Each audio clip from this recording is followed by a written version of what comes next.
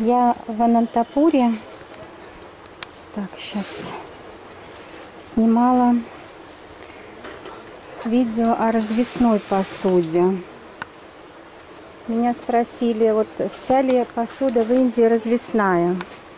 Нет, она, конечно, вся не развесная. Вот пришла к нам в Супер Саи Базар показать. Вот такая вот ланчбокс. Тиффин они называют. Вот 219 побольше. Вот 105. Так. Тарелочки. У них разный-разный дизайн. 144.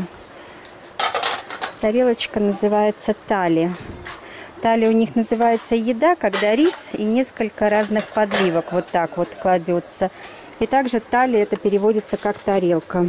140. На самом деле на развес, конечно, дешевле. Я уже взяла себе... Сегодня меня кто-то покусал. Я думаю, муравьишки забрались. Думаю, сейчас пойду их травить. Вот симпатичная тарелка. 72. Что тут еще? Ой, такая тяжеленная. Вот она должна, наверное, дорого стоить. Уж очень тяжелая. Бым. Так, это что? 96. Применение я не знаю.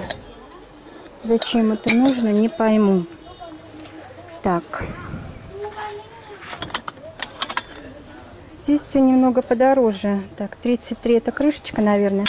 Подороже, чем в ашрамном магазине. В ашрамном у нас шопинг центре 98. Так, а вот что у меня Саши любит. Вот он такие графинчики, кувшинчики любит. Вот тогда мы покупали.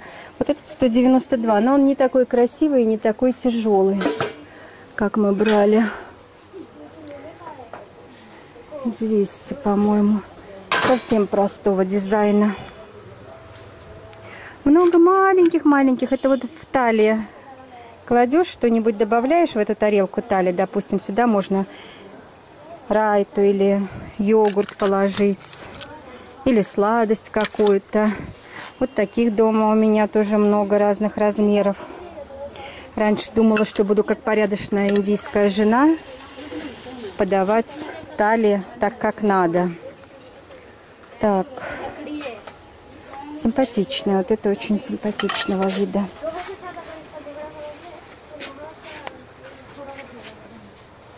Не знаю, что себе выбрать.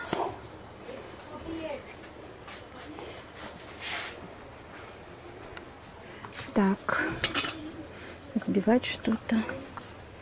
286. Наверное, йогурт. А вот медные. 1253. Вот такая ступка. Дорогая. Легкие вилки дешевые. 9 рупий. А это вот, по-моему, как у нас для специй, наверное. Сейчас гляну. С мордочкой. Нет, это не для специй. 269 в дорогу, наверное. Что-то с собой нужно брать можно. Ну, вот такие приблизительно у них цены. Вот такой чай, ой, такую вот кастрюльку или как ковшичек на днях Саши прикупил опять. Не уследила. Хоп, и в доме поселился очередной ковшик. 229. Угу. Он, по-моему, подешевле купил на улице. Вот такие у них кастрюльки. Может мне кастрюльку купить? 148 или 146. Да, наверное, мне кастрюлька нужна. Но дождусь мужа. Пускай он выбирает.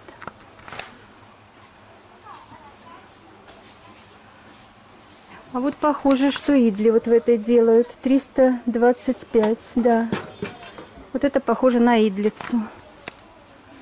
Но я идли не буду сама пока делать, потому что в ашраме такие вкусные. Всего за 12 рупий. Так, сколько? 85, да? Мне вот эта штука нравится. Так, ее надо... А вот еще меньше, как говорится, гаструл, гаструлка и гаструлчик. Вот это гаструлчик. Гастрю... Кастрюля, кастрюлька и кастрюлечка маленькая.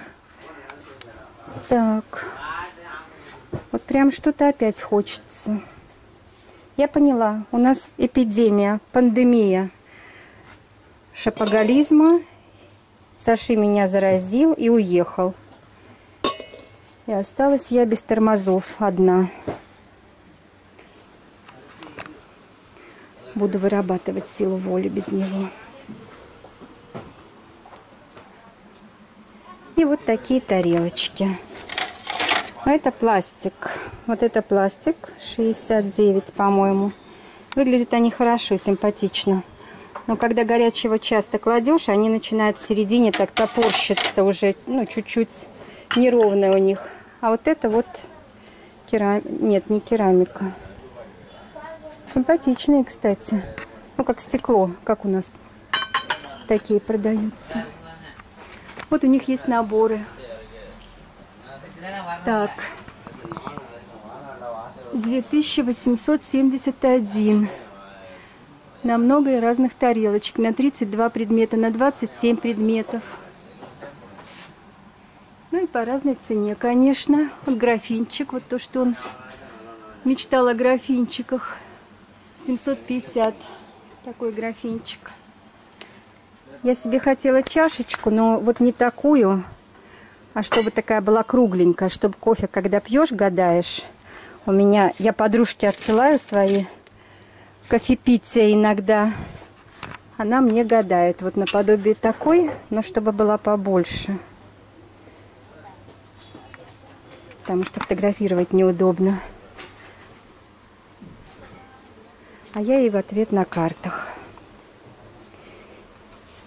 Нет, ничего не впечатлило.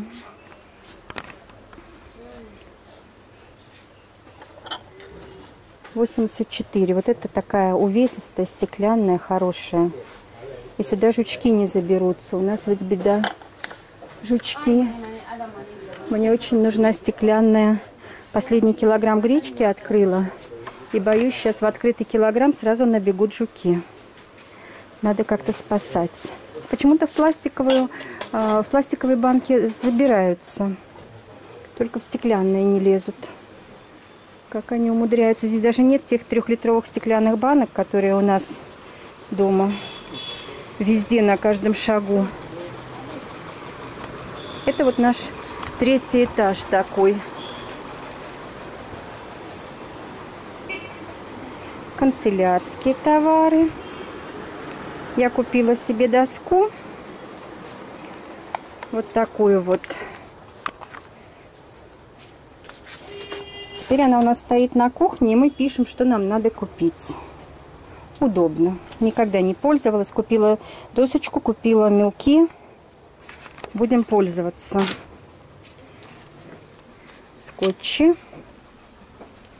Обзор третьего этажа. Вот такие есть даже веселенькие скотчи.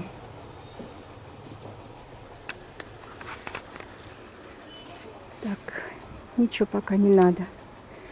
Что ж, пойду я как сирота с одним киллером. Здесь тоже какие-то досочки.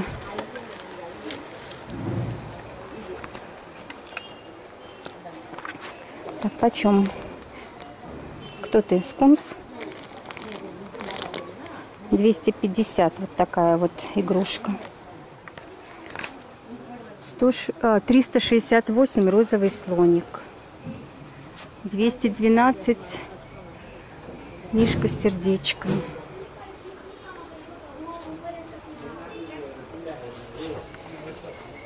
Вот у них есть симпатичные цветочки, можно поискать. Живые цветы мы со своими длинными отъездами губим, поэтому если надо будет украшать, то, наверное, буду украшать какими-то искусственными.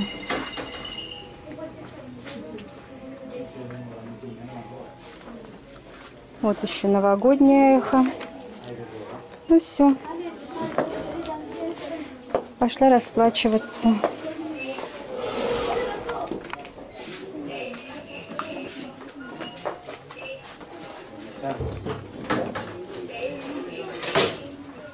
Здесь лифт есть.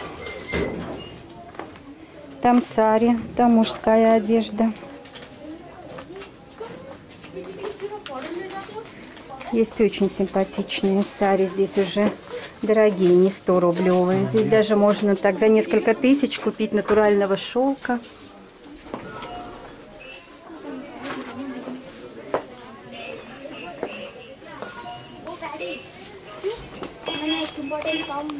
Опс.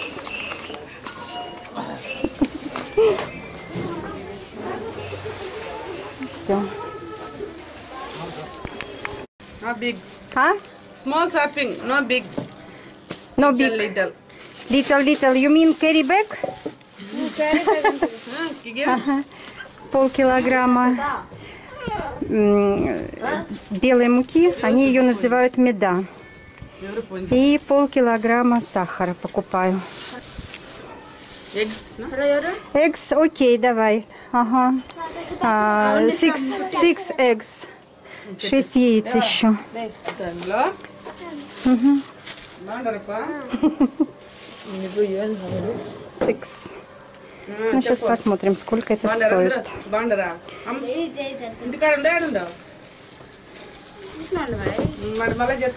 Здесь можно покупать не десятками, можно одно яйцо купить, два, три. Сколько нравится. У нас холодильник маленький, я покупаю немного. Здесь вон шампуньки. Что тут еще есть маленькое? Чили. Чили. рупий. Это для меня слишком. Мгм. Давай. Ну, в общем, сдачу я получила 30 рупий. 70. Правильно? Контролирует. А, сейчас, сейчас, сейчас. Давай. Thank you, thank you. Не громыхнуться тут. А вот на этой... Это они прямо рядом с нами торгуют. Вон мои окна. Так, раз, два, три, четыре, пять. Это как бы пятый этаж считается. Нажимаешь на шестой, потому что с граунда они считают. И вот на этой крыше по вечерам они поют баджаны. А сегодня не пришли ночью обезьянки ночевать. Они вчера только расположились, потемнело. И когда совсем стемнело, начался дождь. Как они, бедные, плакали. Им уже страшно в темноте было спускаться, а дождь всю ночь. И всю ночь они плакали. Так я первый раз проснулась в 9 вечера, потому что долго до ночи я им сочувствовала. Ну, не так, что прям совсем верещали, но так поскуливали иногда. Видимо, старшие младших прикрывали, а младшие, может быть, первый дождик свой увидали.